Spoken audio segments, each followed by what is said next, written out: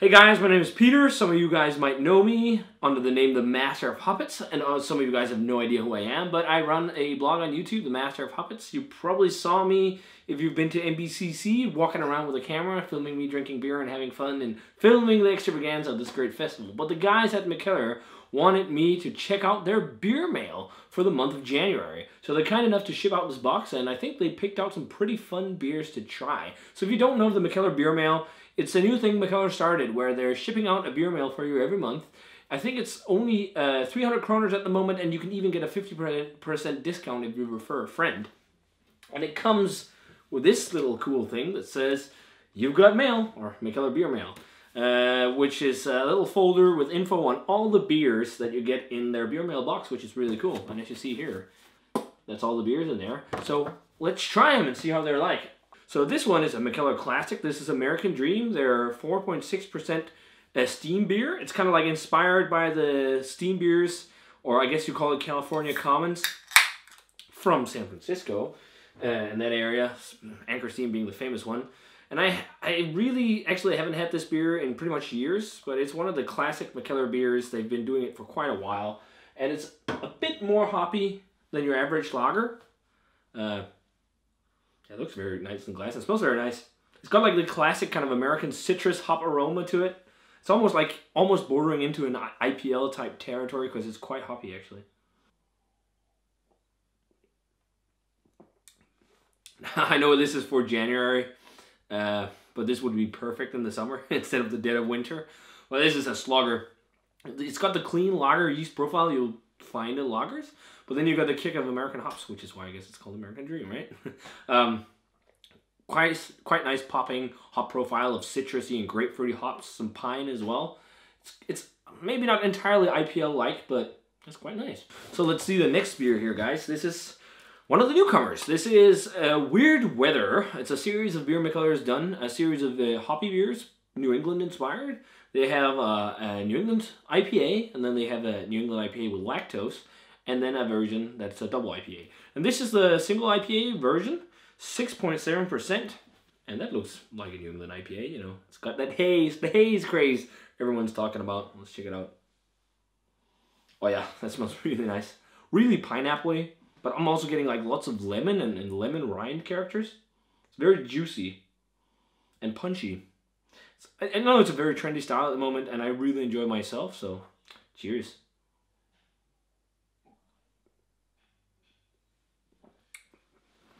That's what I love about New England style IPAs. They're so easy freaking drinkable. I will say though, I think some of the best New England IPAs they produced at Mikkeller has been from Mikkeller San Diego, their facility over in San Diego, but also at WarPigs in Copenhagen. But this is really nice. It's made with rye, uh, barley malt, and uh, oat flakes, wheat malt, and rye malt as well. Super drinkable for almost 7%. You got a little bit of a classic grapefruit vibe going on, but also with some citrus, uh, other citrus characters, like some bit of sweet citrus, but I'm getting lots of pineapple on it, like juicy, fruity pineapple. Okay, so this beer is one of their sours. So if you don't know, they're drinking in, uh, I think it started drinking in the sun, then drinking in the winter, and then drinking in Berliner. So they're a low alcohol series of beer. They've been doing it for years right now. I think the very first one was the drinking in the sun which was like a low ABV kind of pale ale type thing. But this is a 2.7% 2.7% Berliner Weisse with passion fruit, uh, which is really nice. 2% of the beer is passion fruit actually, so this will be fun. I, I do like a Berliner Weisse and I do like sours a lot. Limey, lemony, but there's definitely passion fruit aromas on it. Very clear as well, like super golden. Huh, smells, smells quite nice. Uh, very refreshing. More lactic and sour than I like remember they're drinking in Berliner series or drinking in sours. I think they've made a couple, but let's try it.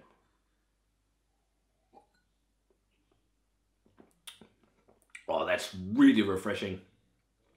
More lactic sourness to it than I actually imagined at first. Not too bad though. It's not like so much you get like sour. I don't know if you guys ever try that when you get so much sour beer or beer that are really sour that it starts giving you like the sour belly type feeling like you can feel the sourness going down almost it's not like that it's like really sour passion fruit flavor with like lactic sourness I enjoy it, but it's not my favorite sours they do. I mean, the ones I prefer the most from Mikkeller and sours are their Spontan series. Those are those are great. More new Mikkeller beer. This is a series they just released. which is really cool to see in the box. This is their new hop project uh, called the Hop Terroir series, and it's a series of IPA that showcases the different flavor profiles you can get in hops when they're grown in different regions. Because you know, like wine is all about. They talk so much about terroir. Uh, in terms of grapes, where the grapes are from. This is pretty much the same thing, just in terms of where the hops are from. Because there's apparently somewhat of a difference depending on where the hops were grown. Some people like even talk like the flavor of Nelson Sauvin, the specific flavors you get is quite unique because of the soil in New Zealand where it's grown. So this is the Cascade version with uh, Cascade hops from Washington in the U.S. So Cascade hops, it's classic American hops. Uh, ABV on this is 6.8, and I, I'm not entirely sure, but I think they're New England inspired as well, but we'll find out once we get it poured if it's, yeah, very much so. That's, that's quite hazy. Okay, hey, and this has also got rye, I see, and I think all of these have the same base beer pretty much. So barley malt, oat flakes, rye malt, and wheat, hops and yeast. Cascade, I don't think, oh, that looks very nice. I don't think I've had a Cascade beer, like single Cascade beer in ages, so let's check it out. Oh, like piney, almost like aloe, aloe vera I'm getting for some reason.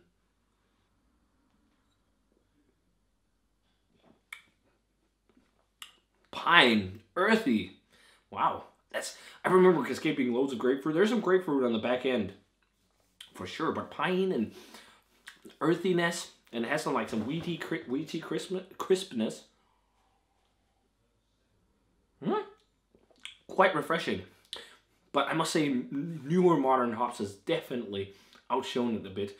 It's, it's almost got like, like sometimes you can get that from some hops, like an almost um like I don't know if I want to say rubbery, but like it's like this almost like rubber like flavor. It's a bit weird, but it, it tastes really old school, but New England style, which is kind of interesting. And while we're at it, well, let's move on to the other terroir beer in here. Another Hop Terroir series beer. This is Amarillo. It's also 6.8%, and except same malt backbone and everything. I think this guy is inspired by the other series that Mikkeller has done. They did a hop series back in the day. I actually did the entire first single hop IPA series on my YouTube channel, The Master of Hoppets. So if you want to check that out, you can see it on there. But uh, that was a fun experiment. Oh, much more orange. That's one of the key things I think of when I think uh, is like lots of orange. Really refreshing smell. Let's try it. Yeah, I much prefer that to Cascade. It's more juicy, slightly tropical vibes going on, but tangerine, sweet citrus, mandarin oranges, orange, citrus fruit galore. It's really nice. The Cascade is more classic, whereas this is a bit more to the new school haze of the days trend. Got some bottles, not only cans in this box, guys. This is Mikkeller's Porter. Their Imperial Porter on 8% uh, with dark Cristinade sugar. I, I don't think I ever tried this one, to be honest. It's one of those beers they did, they've done it for a while, but I, I don't think I, I checked it out, or at least, you know, like did a review or something of it. But, hey, we'll check it out. Oh, I can smell the roastiness from here. Yeah, roasty, chocolatey, coffee forward. Head is really getting in the way for me picking up proper aromas, but it smells nice, what I'm getting. Almost like a bit of a hint of a vanilla note. Let's try it.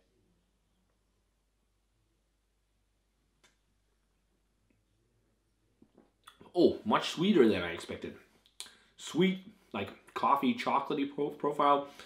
Nice sharp roastiness without being crazy. Really easy drinkable for 8% actually.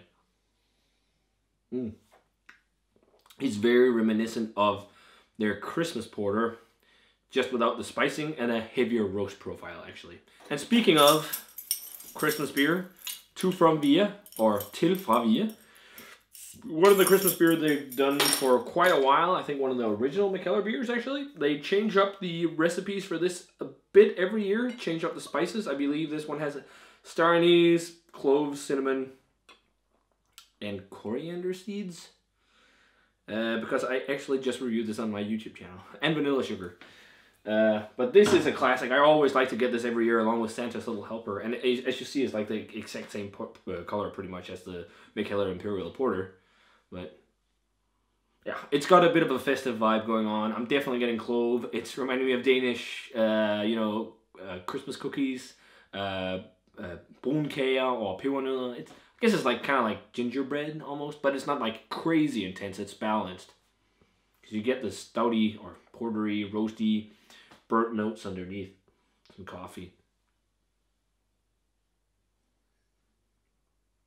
This is good if you have like post-traumatic Christmas syndrome and need you your Christmas fix even though it's January.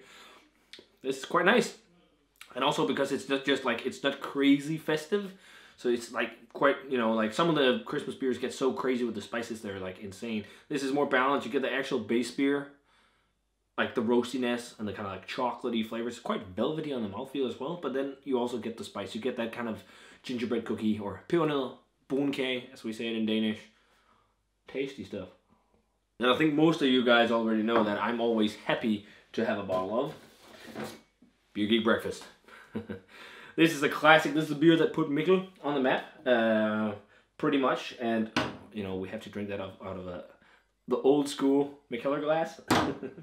they used to have them at all the bars, uh, pretty much.